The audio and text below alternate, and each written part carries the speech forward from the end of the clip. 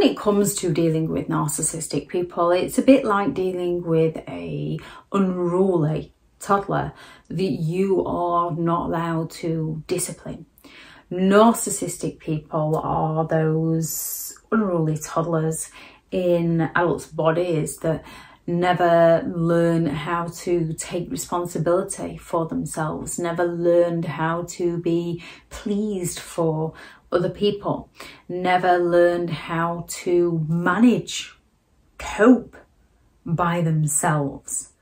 They're seeking that external validation, never learned how to apologize for the things that they've done wrong, never learned how other people sort of fit and mold society by getting along and working together and helping each other out.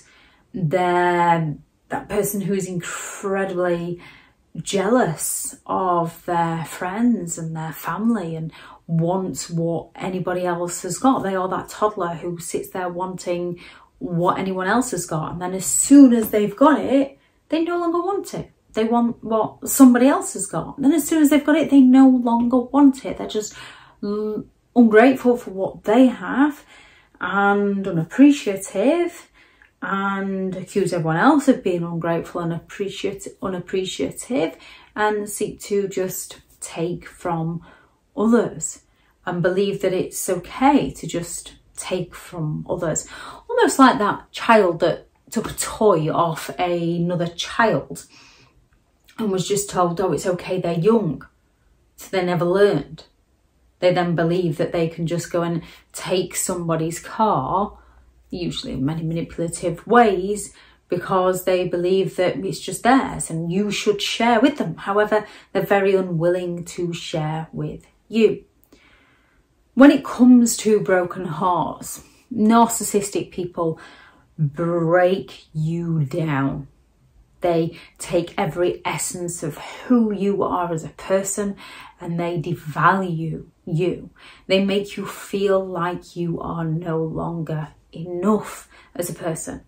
They make you feel like you're you don't know whether you're coming and go or going.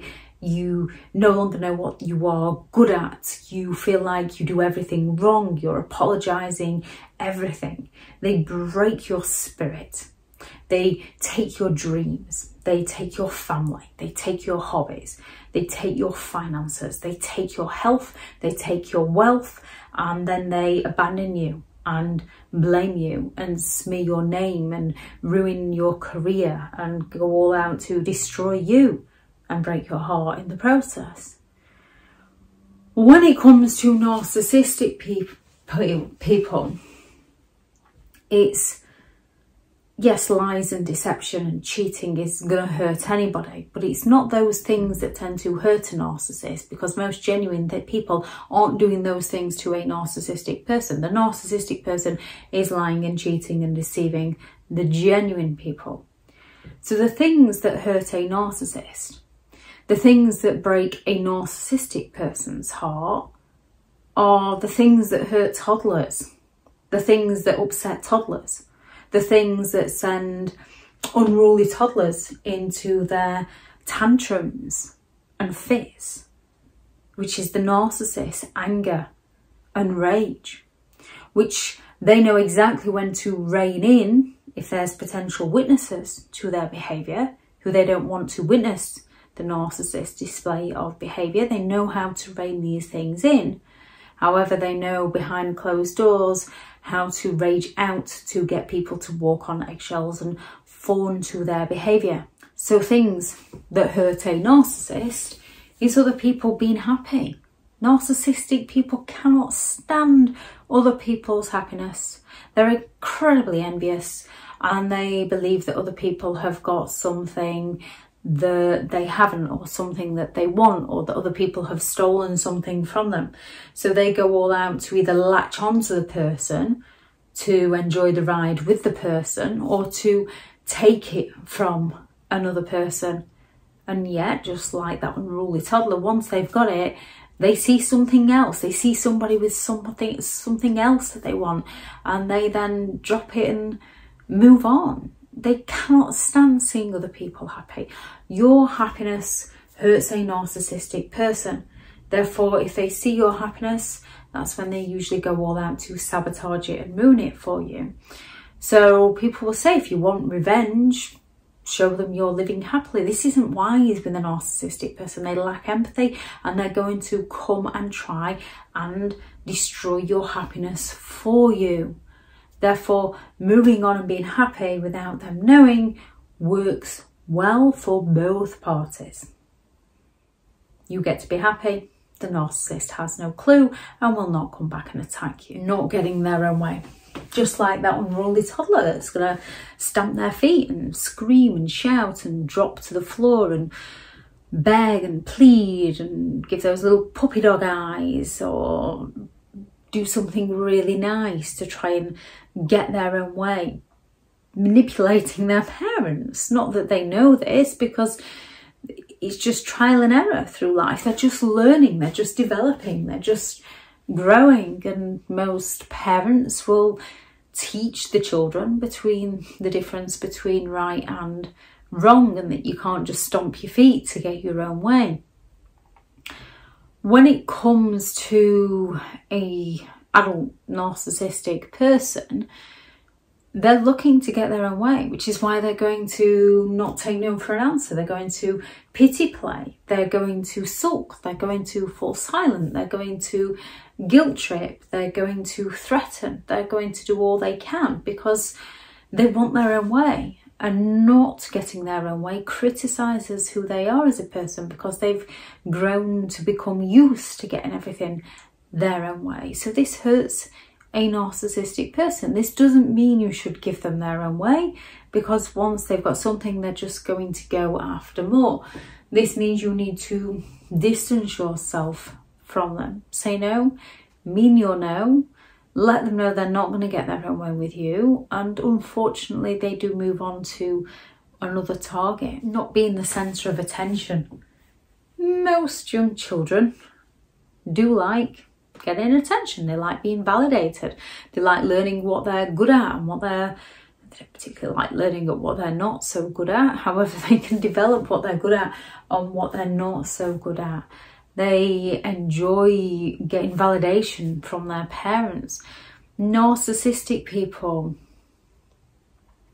take a real dislike to not being the centre of attention.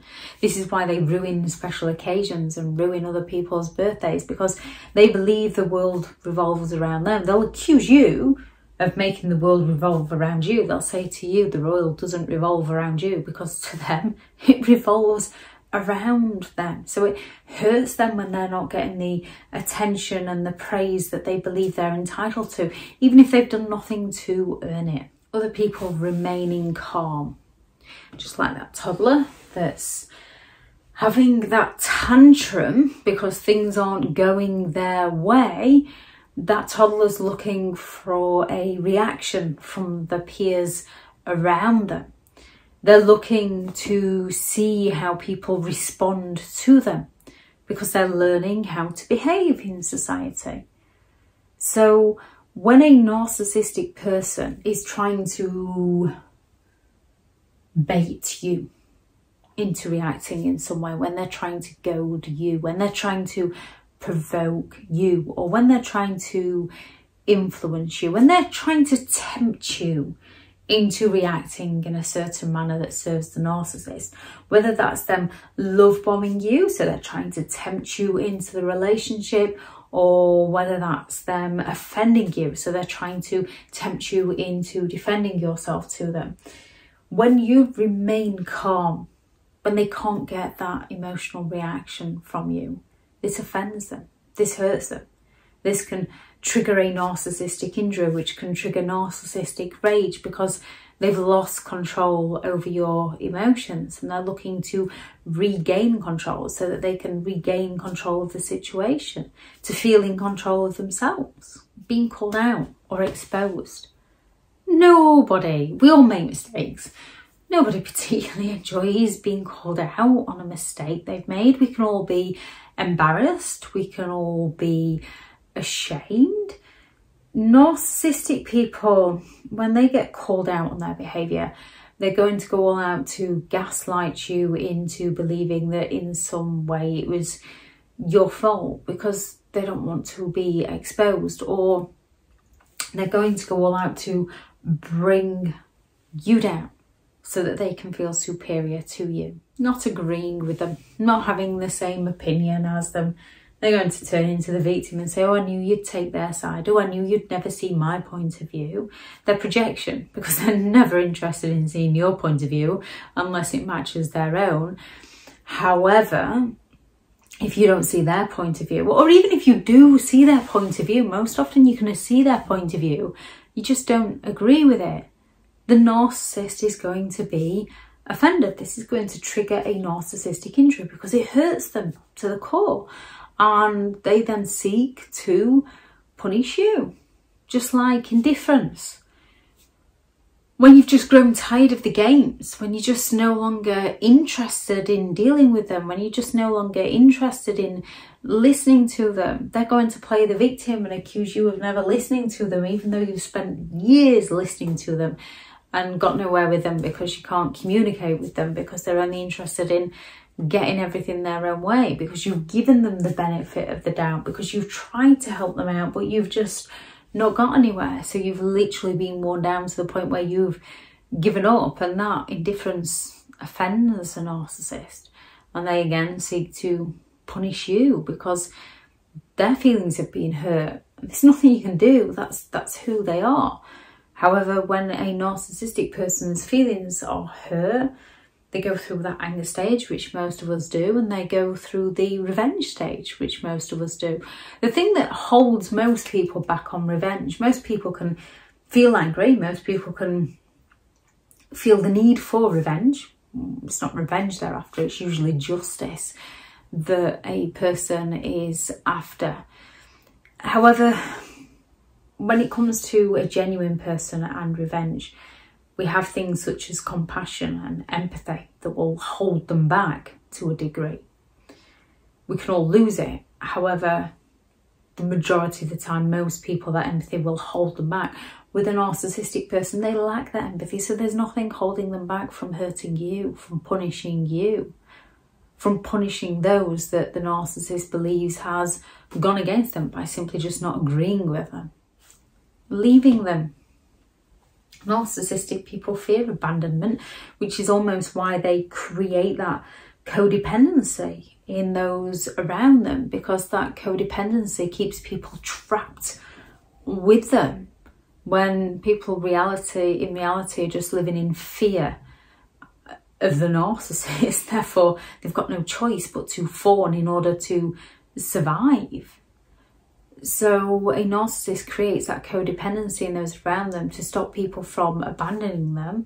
However, the narcissist will happily line up a new supply and abandon the old supply for the new supply. But just like that young baby that's that's learned how to crawl and suddenly recognizes that, oh, I can move, they can move, they've left the room, they've left me and screams blue murder until the parent comes back in and they have that separation anxiety that they eventually do grow out of with the comfort and support of their parents.